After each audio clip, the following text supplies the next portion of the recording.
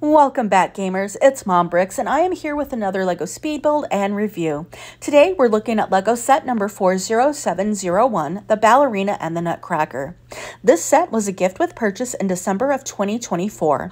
You had to spend a minimum of 150 US dollars to get it, and it comes with 244 pieces and says it's for ages 9 and up.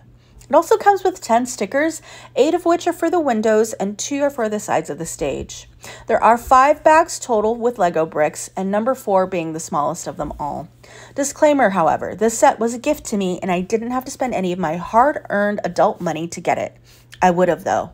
I would have, had I not just bought a huge set for someone's Christmas present.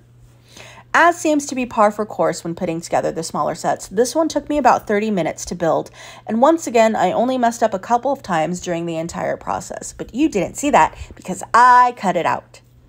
Once started, it came together rather quickly, and I liked the way the stage looked. I feel it packs enough detail to make it interesting and be cohesive with the theme. I also think the stars and the moon stickers make a really pretty backdrop.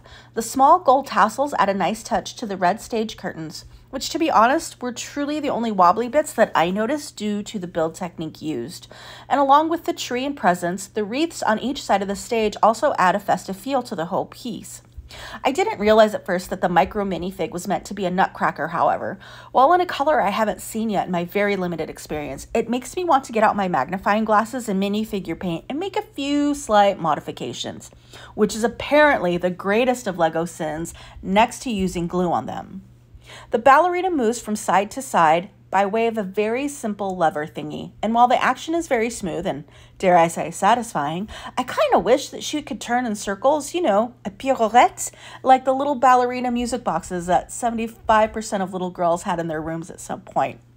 The set also includes three transparent light blue opalescent 1x1 studs, one on the Christmas tree and two rounded ones on the stage, which are set slightly off center and I'm being very brave and very strong and not making them even and mirrored.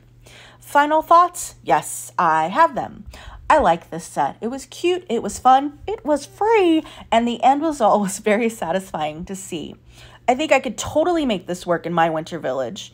Thanks for stopping in again, and let me know down in the comments if you've ever modified your Lego sets by gluing them or painting them. Until then, guys, I'll see you next time. Thanks for stopping by. This has been me, Mom Bricks. Check out these photos of the final build.